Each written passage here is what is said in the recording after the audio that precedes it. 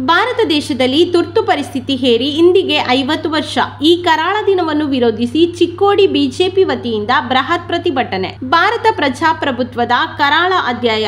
ಸಾವಿರದ ಒಂಬೈನೂರ ಎಪ್ಪತ್ತ ಐದು ಜೂನ್ ಇಪ್ಪತ್ತೈದರಂದು ಇಂದಿರಾ ಗಾಂಧಿಯವರು ದೇಶದಲ್ಲಿ ತುರ್ತು ಪರಿಸ್ಥಿತಿಯನ್ನು ಹೇರಿ ಇಂದಿಗೆ ಐವತ್ತು ವರ್ಷ. ಈ ಕರಾಳ ದಿನವನ್ನು ವಿರೋಧಿಸಿ ಚಿಕ್ಕೋಡಿ ಬಿಜೆಪಿ ವತಿಯಿಂದ ಇಂದು ಬೃಹತ್ ಪ್ರತಿಭಟನೆಯನ್ನು ಹಮ್ಮಿಕೊಳ್ಳಲಾಗಿತ್ತು.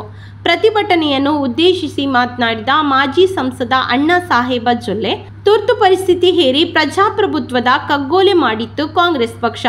ದೇಶದ ಪರ ಧ್ವನಿ ಎತ್ತಿದ ಲಕ್ಷಾಂತರ ಜನರನ್ನು ಜೈಲಿಗೆ ತಳ್ಳಿ ವಿಕೃತಿಯನ್ನು ಮೆರೆಯಲಾಗಿತ್ತು. ಇಂತಹ ಅಸಂವಿಧಾನಿಕ ತುರ್ತು ಪರಿಸ್ಥಿತಿ ಹೇರಿದ ದೇಶದ ಇತಿಹಾಸದ ಅತ್ಯಂತ ಕರಾಳ ಅಧ್ಯಾಯಕ್ಕೆ ಇಂದಿಗೆ ಐವತ್ತು ವರ್ಷ. ಕಾಂಗ್ರೆಸ್ನ ಈ ಕೃತ್ಯವನ್ನು ಎಂದಿಗೂ ಮರೆಯದಿರೋಣ ಎಂದರು.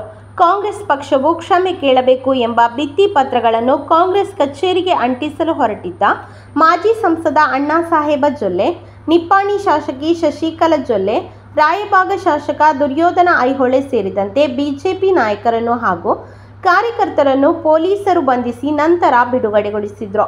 ಚಿಕ್ಕೋಡಿ ಬಿಜೆಪಿ ಕಚೇರಿಯಲ್ಲಿ ಇದಕ್ಕೂ ಮುನ್ನ ಸಭೆಯನ್ನು ಏರ್ಪಡಿಸಲಾಗಿತ್ತು.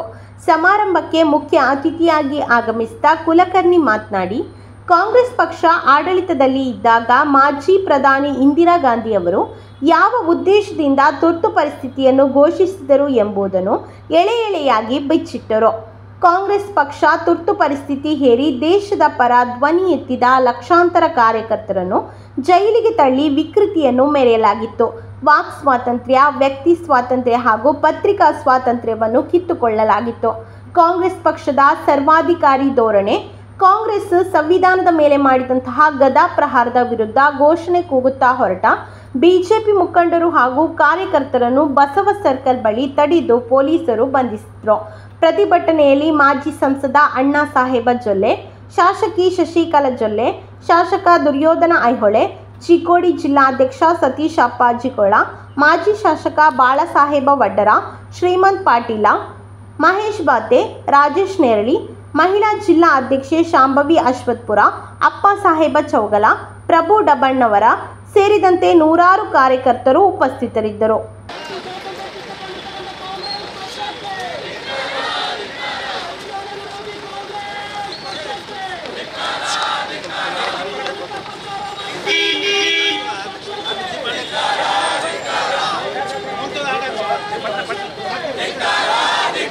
ಸಂವಿಧಾನಿಕ ಅಪಚಾರ ಮಾಡಿರ್ತಕ್ಕಂಥ ಕಾಂಗ್ರೆಸ್ ಪಕ್ಷಕ್ಕೆ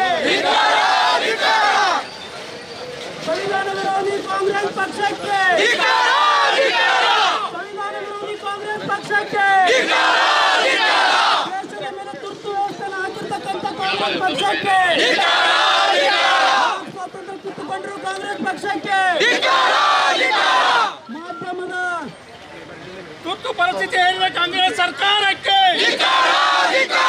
ಕಾಂಗ್ರೆಸ್ ಪಕ್ಷಕ್ಕೆ ಸಂವಿಧಾನಕ್ಕೆ ಅಪಚಾರ ಮಾಡಿರೋ ಕಾಂಗ್ರೆಸ್ ಪಕ್ಷಕ್ಕೆ ಸಂವಿಧಾನ ವಿರೋಧಿ ಕಾಂಗ್ರೆಸ್ ಪಕ್ಷಕ್ಕೆ ರಾಹುಲ್ ಗಾಂಧಿ ಸಂವಿಧಾನ ವಿರೋಧಿ ಕಾಂಗ್ರೆಸ್ ಪಕ್ಷಕ್ಕೆ ವಾಕ್ ಸ್ವಾತಂತ್ರ್ಯ ಕಿತ್ತುಕೊಂಡಿರೋ ಕಾಂಗ್ರೆಸ್ ಪಕ್ಷಕ್ಕೆ ಪತ್ರಿಕಾ